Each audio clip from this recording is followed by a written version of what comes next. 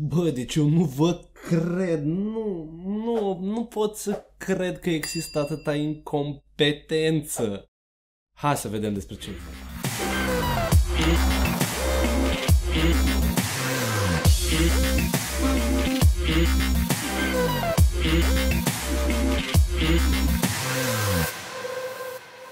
Voi ați auzit de Depanero?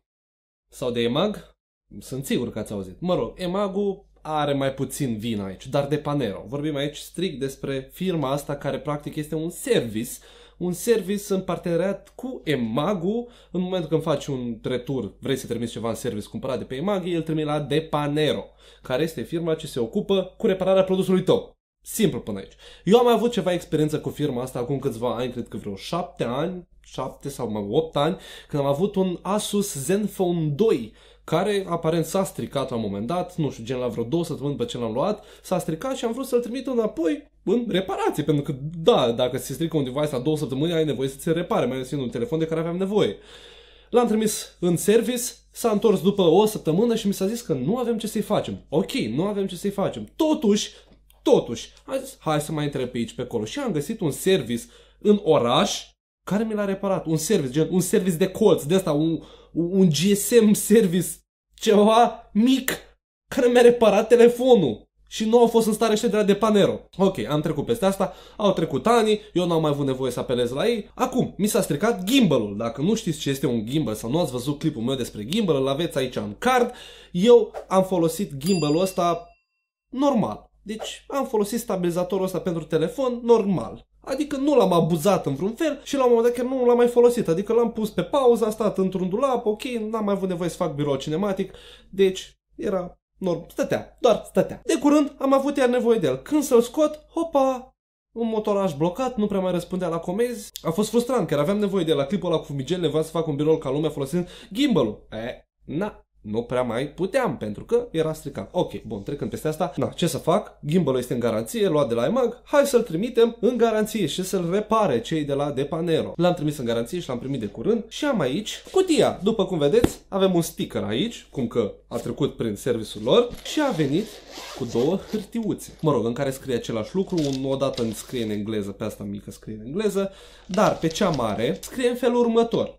S-a verificat produsul și funcționează conform specificațiilor producătorului. Și ceva scris dubios aici, ce... Ca... Nu pot să-mi dau seama. Asta. Asta scrie pe fișa de la Depanero și așa că am zis, bă, poate sunt eu bolnav la cap, da? Adică poate chiar nu-mi dai o seama că nu merge. Ce avem de făcut pentru a testa produsul ăsta? Pentru că presupun că el a testat. Adică au luat produsul, s-au uitat la el și a zis că, bă, el funcționează. El merge, da? Adică e ok, funcționează așa cum trebuie. Și îl scoatem din husă. Primul lucru pe care îl putem observa când îl scoatem este că, la fel, cum am zis și în video despre gimbal, el, are, el este pe trei axe. Deci el are trei motoare. Are unul aici, unul aici și unul aici. Fiecare ar trebui să se miște super lean, super smooth. Dacă astea două motorașe care observăm că se mișcă super fin, da, super lean, despre asta de aici, ia să vedem puțin. Na. Și ca să înțelegeți, în momentul, înainte de a porni un stabilizator de genul ăsta, el trebuie contrabalansat sau balansat și atribuit un contrabalans în cazul în care telefonul este prea greu. Dar, în principiu, ar trebui să ne dăm seama, în momentul în care noi îl așezăm telefonul, el nefiind pornit, deci nu este aprins niciun LED, el trebuie contrabalansat. Adică, el trebuie adus în poziție orizontală și lăsat să se balanceze. Se balansează? Nu prea. El ar trebui să se balanceze în direcția asta pentru a se calibra. Na. Na de panel. Așa ar trebui să funcționeze un gimbal? Așa? Hai să ne uităm la clipul pe care l-am făcut și să vă arăt cum funcționează în momentul în care punem un telefon într-un gimbal. Înainte să-l pornim, cum ar trebui să funcționeze. Hai să, înainte de asta, hai să auzim puțin cum se aude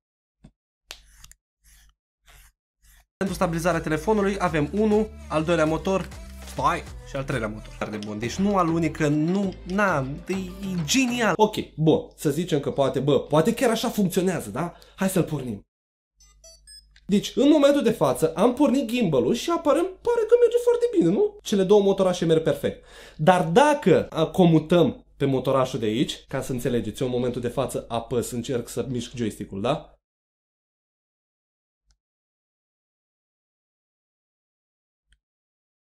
Nu se întâmplă absolut nimic. Nu funcționează. Motorul de aici este terminat. Nu funcționează. Și probabil o să-mi spuneți acum, bă, Alin, da, ai pus dita mai telefonul. Ok, hai să-l închidem. Vreau să pun un Samsung, care este un telefon mult mai mic și mult mai ușor decât un iPhone 11 Pro Max. L-am pus pe ăsta. Hai să vedem dacă este vreo diferență. Absolut niciuna. Observați cum a rămas, deci am dat drumul la gimbal, a rămas oblic și tremură, vibrează. Deci se poate vedea pe cameră în ce hal face. Pentru că el se forțează acum să miște motorul ăsta și nu poate. Pentru că nu-i blocat. Nu merge! Așa că voi, cei de la Depanero, clipul ăsta vi-l trimis și vouă, o să-l trimis și la EMAG și apare evident și pe YouTube așa cum vedeți. Nu!